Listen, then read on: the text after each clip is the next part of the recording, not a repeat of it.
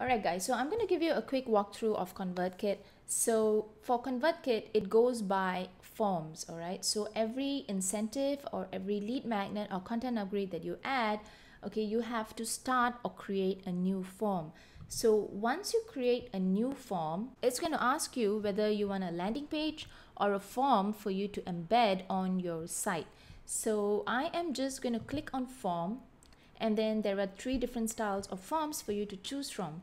So this just has an email address, this has a first name and an email address, uh, but I'm just going to choose this one because this is the one that I always pick. So this is how the blank form looks. So you can change up all of this text. Okay, you could change up all of this text. You could change up the button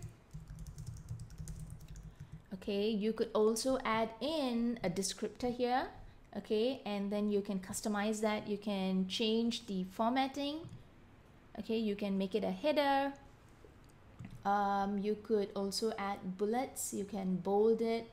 You can add an image here okay but I'm to show you this portion right now.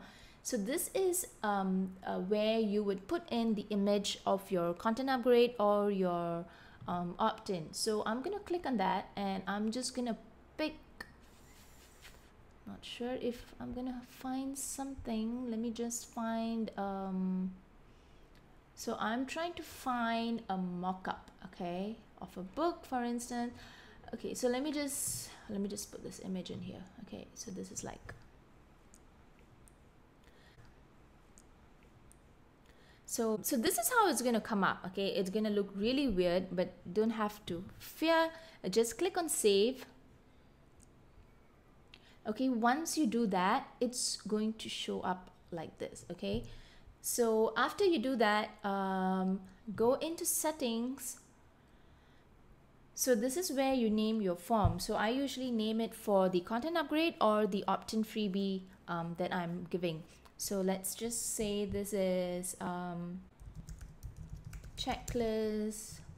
Okay, let's just call it a monetization checklist, okay? So I'm going to call it monetization checklist. Okay, so um, you we have chosen that uh, this to be a form. Okay, so just leave this clicked and then what should happen when a visitor subscribes?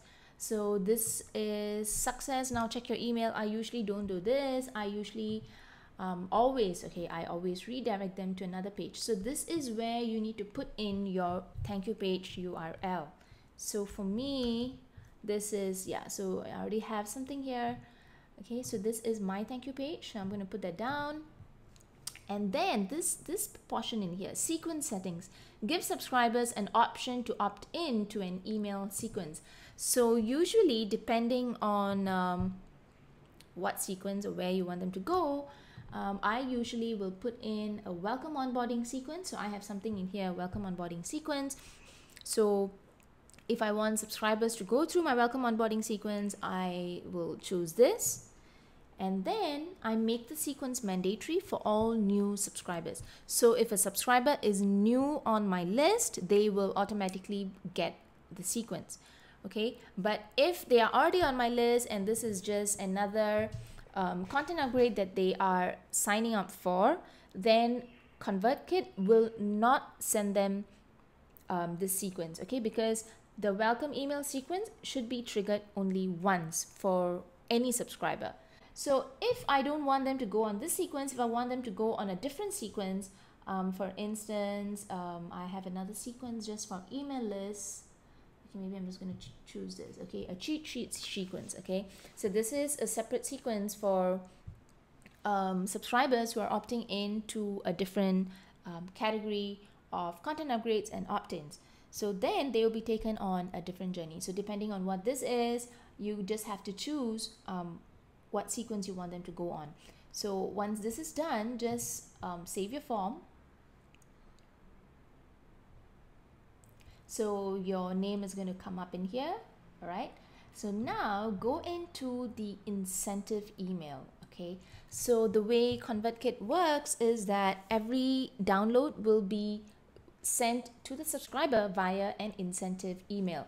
So you could choose to have them double opt in all right which means they need to click on this button here confirm your subscription so that they get your opt-in as well as confirm themselves on your list okay? But if you are not a proponent of double opt-in you also have the option of auto confirming new members. So if you click this whether they have clicked this or they have not clicked this they their email address and their names are going to be saved in your um, list okay? So it depends on what style you're going to go with. So your subject line you could change this. You can say something like open up or your download is here. And then you can change up your messaging. You definitely don't want to have this. You definitely want to customize the message. And then after confirming the subscription where should they be redirected so this is where you want to put in the incentive download. So which means that once they click on this, they will automatically be, um, the, the download will automatically start for them. So this is where you want to upload your file. Okay, so I'm just going to pick um, uh, this file for an example. Okay, so this is how it will upload. So that is done, you just want to save it again so what happens is anyone who clicks on confirm your subscription, you could even change this up. Okay, you could also change it to say click here to get your download. All right, then they click on this, they're going to be automatically downloaded. Uh, this is automatically going to start downloading. So the style, um, so I have chosen this for a full opt-in form. Okay, you could choose, you could go in and change this as well this is what we already picked at the very beginning. Um, you could also have in a modal or a slide in. Um, I'm not going to show these, but they have tutorials for these within the ConvertKit knowledge base. They also give you a script for you to embed. So if you're going to embed this form anywhere within your blog post or your site, you just need to grab this code and then put it um, or within the HTML okay? And then once you click save and you um, preview the opt-in form will show up without any issues. Okay so I'm not going to do any of this.